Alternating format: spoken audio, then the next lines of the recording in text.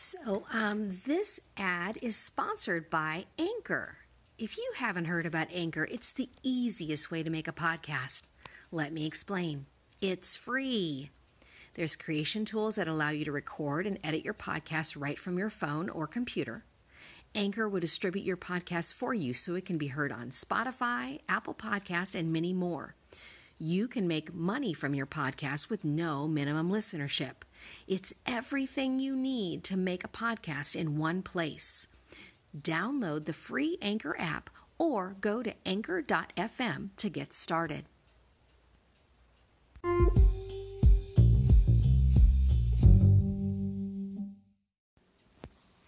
Hi there, this is Robin Norgren, and I'm your host for Montessori, Creativity, and the Meaning of Life. You can find the work that I do over on Instagram under Robin underscore Norgren or on my website at www.joseysartschool.com. I like to start with some words from the crossword, crossroads of should and must from Elle Luna. It was a Tuesday around 7 a.m. when I clicked publish on an essay on medium.com titled the crossroads of should and must. We share things online every day, all the time. But something about this thing was different.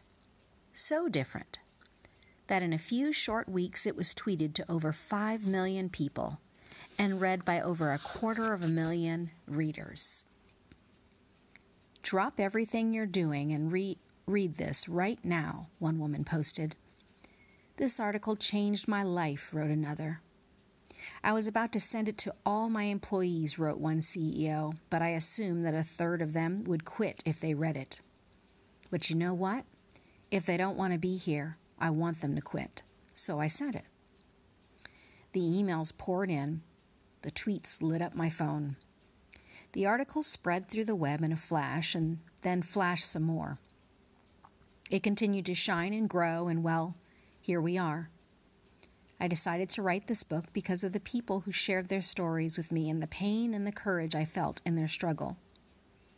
Women in their 30s, men in their 20s, a high school senior, fathers, a widow, single moms, millionaires who were poor, poor people who were millionaires, teachers, lawyer, lawyers, a musician disguised as a lawyer, a poet who loved to drive a city bus, women who didn't want kids, fathers who wanted to raise kids, people who felt stuck in their jobs, and people who were so desperately grateful to have a job at all.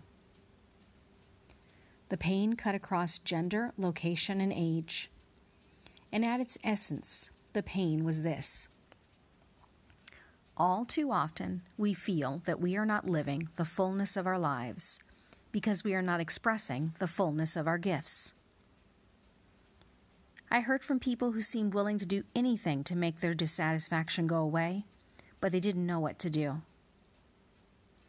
I wrote this book to share that I have found what I have found most helpful in navigating my own journey, as well as what has been helpful for the people I met. However, you're not holding a book of answers because only you know you're holding a collection of the most effective questions I encountered along the way. Think of these pages as a series of doorways designed so that you can choose which way your journey will go. These pages are a pep talk to honor that voice inside of you that says, You have something special to give. It's a reminder that while there is no map for where you're going, many have traveled this road before. It's permission to unlearn everything you've ever been told you should do in order to learn what you must. It is 11:55 a.m. on a Thursday, and I'm clicking save on this document one final time before it begins its adventure into the world.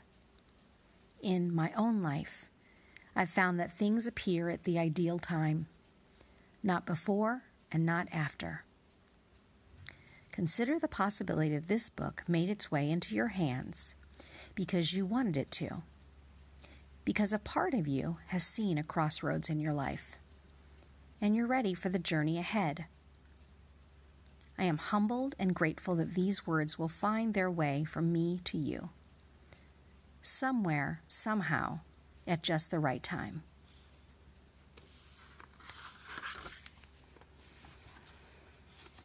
I was sound asleep when the sign arrived. It came in the form of a dream a white room with concrete floors, tall walls, warehouse windows, and a mattress on the floor. That was it. That was my dream.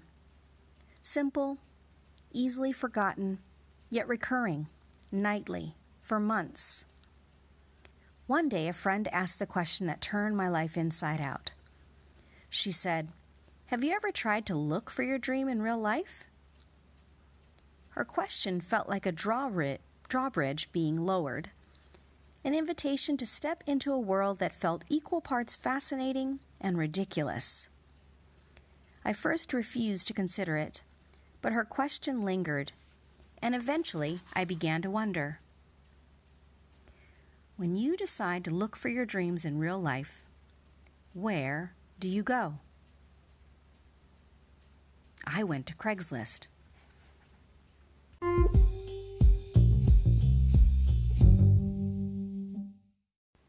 This is from a book called The Creative Habit by Twyla Tharp. I walk into a large white room. It's a dance studio in Midtown Manhattan. I'm wearing a sweatshirt, faded jeans, and Nike cross trainers. The room is lined with eight foot high mirrors. There's a boom box in the corner. The floor is clean, virtually spotless if you don't count the thousands of skid marks and footprints left there by dancers rehearsing. Other than the mirrors, the boombox, the skid marks, and me, the room is empty. In five weeks, I'm flying to Los Angeles with a troupe of six dancers to perform a dance program for eight consecutive evenings in front of 12,000 people every night. It's my troupe. I'm the choreographer. I have half of the program in half in hand. A 50-minute ballet for all six dancers set to Beethoven's 29th piano sonata.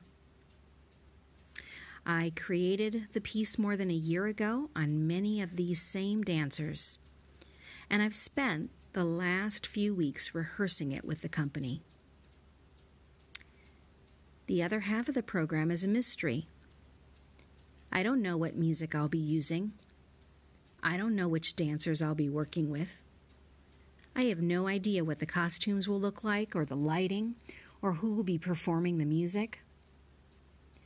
I have no idea of the length of the piece, although it has to be long enough to fill the second half of a full program to give the paying audience its money's worth. The length of the piece will dictate how much rehearsal time I need.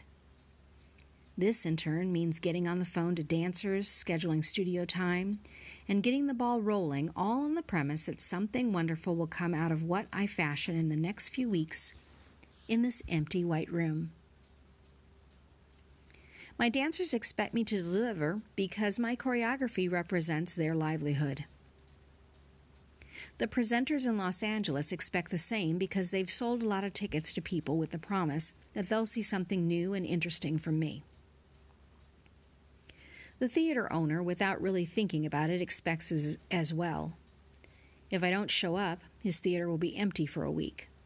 That's a lot of people, many of whom I've never met, counting on me to be creative. But right now, I'm not thinking about any of this.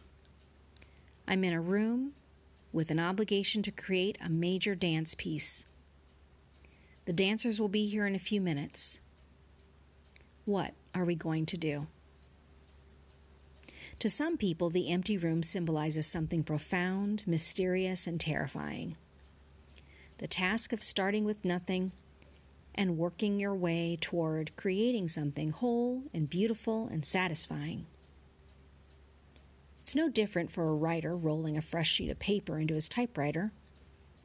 or more likely firing up the blank screen on his computer. Or a painter confronting a virginal canvas, a sculptor staring at a raw chunk of stone, a, comp- a composer at the piano with his fingers hovering just above the keys. Some people find this moment, the moment before creativity begins, so painful that they simply cannot deal with it. They get up and walk away from the computer, the canvas, the keyboard. They take a nap or go shopping, or fix lunch or do chores around the house. They procrastinate. In its most extreme form, this terror totally paralyzes people.